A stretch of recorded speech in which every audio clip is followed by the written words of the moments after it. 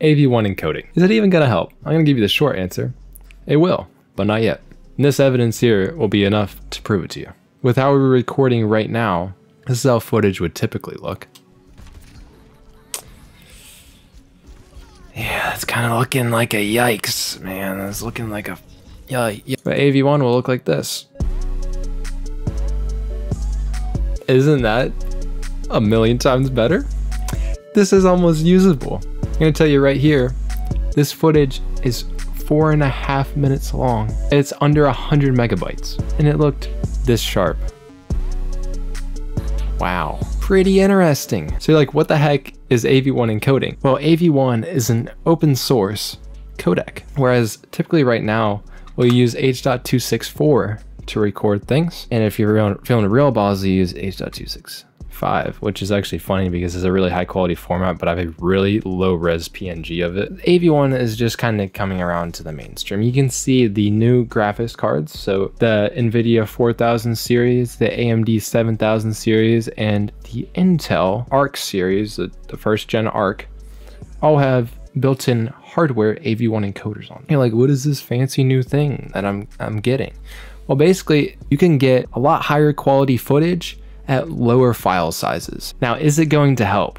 The, the answer is not yet because not enough things support it. With all the big tech companies like YouTube, Google and stuff really pushing for AV1 encoding, it's clear that obviously it's gonna help. It's just at this current moment, YouTube is in a predicament. Have you've seen this video by Linus Tech Tips? He talks about that YouTube is toying with the idea of charging for 4K with YouTube Premium. That is pretty clearly because 4K videos are just big files. In order for YouTube to store those files, they need more space and they need more infrastructure to be able to make that happen.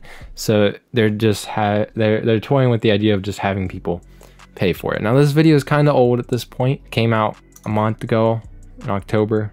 Uh, I'm, I'm late. I'm late to the news and you guys are mad. In this video, Linus talks about how YouTube has this obviously hugely growing community on it because a lot of the world is actually just getting like mainstream internet. Like I know India is like very huge on the scene in the past few years. They've completely blown up with how many people can uh, actually get on the internet, and that makes a lot more YouTube users, and that's a that's a big deal because in 2018 quarter four they cracked 2 billion users.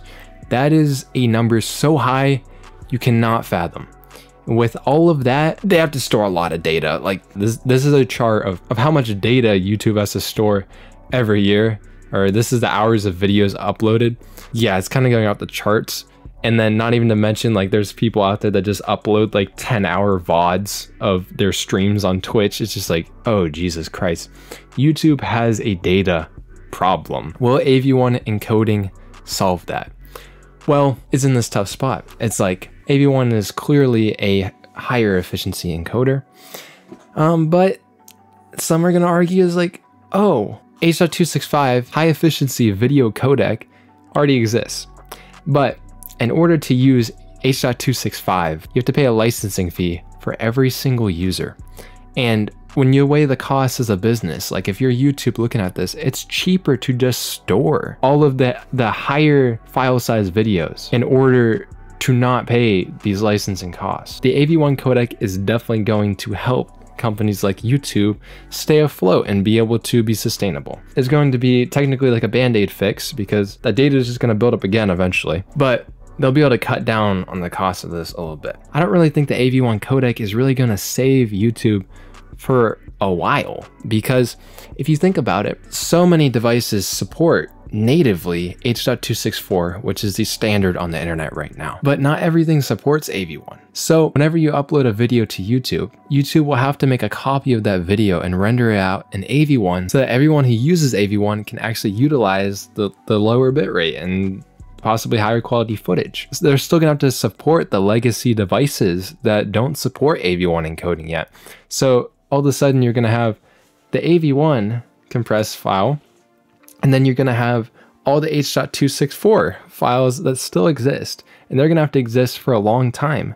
And all the content that is currently on YouTube right now, do you really think with a chart that looks like this. If YouTube's actually going to be able to go through their entire backlog of content and completely re encode all their videos, it's not going to happen. So, AV1, maybe in like six years, is going to be awesome.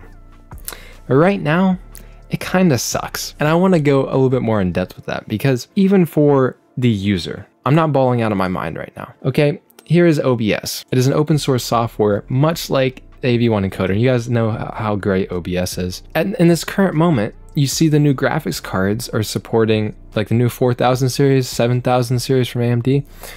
They're supporting AV1 encoding. I don't have a new graphics card. I'm not going to be able to get one because they're expensive. Okay, and if you're buying a graphics card just to encode an AV1, it's probably not worth it. All right, so I have two options. I can use the SVT AV1 encoder, or I can use the AOM AV1 encoder. Now both of these, obviously I don't have a graphics card that can encode AV1. Both of these use my CPU to encode it. I'm just gonna show you some footage. Okay, so this is 1440p 60 FPS footage at 20,000 kilobits per second with AV1 encoding. Now, I'm just gonna play this. Obviously, it looks great. It looks phenomenal. This is probably too high of a bit rate than it actually needs. Um, I'm probably using too much storage with AV1 to actually make this good. I'm sorry, this video, the, the, the current format I'm recording right now is in 30 FPS, so that's the problem. But if you just see in the upper left corner, I dragged in my OBS window while I was recording with it. My CPU, which I have a Ryzen 9 5900X, so this is a 32 thread processor, just recording footage is pegged at 60%, and sometimes you'd see it spike up to 80% just recording the footage. I can't use it. So the only option I have is to record on my GPU or to use X264, which is the old H.264 encoder. But why would you use that? Um, I, I recorded with H.265 on my GPU. These are the settings that I use to record my footage. Um, I usually use HEVC, so it's H.265, and then I this one's different. I usually use CQP, so that's like the quality preset, and I usually set it at 24, and it looks great. Okay, that's typically how I record my footage. And when I'm recording, my CPU, it, like look at this, just, just compared to that other stuff, man, my CPU sits at like 1% because it's not using my CPU, it's using my GPU. And for all the people that can't that aren't going to get these new GPUs for probably years. I mean, most I had my old GTX 1070 for like six years or something. A lot of people don't upgrade their their systems frequently, and even your phones and stuff like that don't have hardware AV1 decoders yet. So it's you're in this this tough spot where even though yeah this is coming around, it's gonna take a few years for AV1 to become mainstream, and that's just the way that it is, and we can't really change it, okay? I wanted to show you a quick comparison to, to actually see how different AV1 encoding looks from other footage. So I typically record in H.265, which is which is HEVC.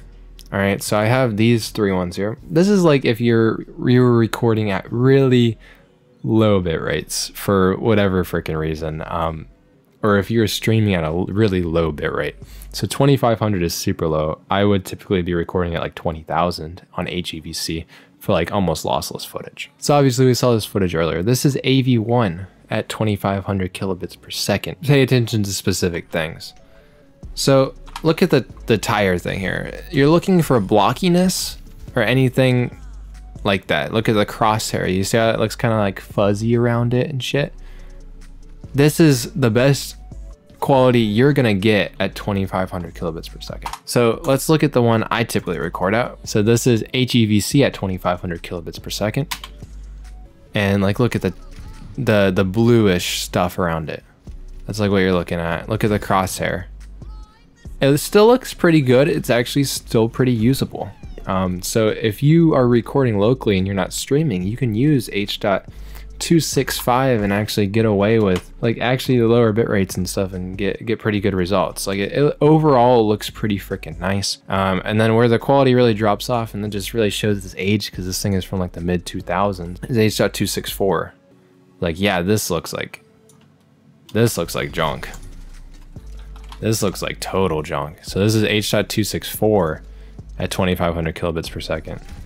You can, it's weird. It's like you can see pixely blocks. It almost looks like it's a lower resolution. That's that's typically how H.264 will look at lower bit rates. So it's like, is AV1 great? Yeah, it it is, but you can't really use it at least until you get a new graphics card or you can try to make your CPU just cry while you're trying to just simply record footage for whatever you're doing. Okay.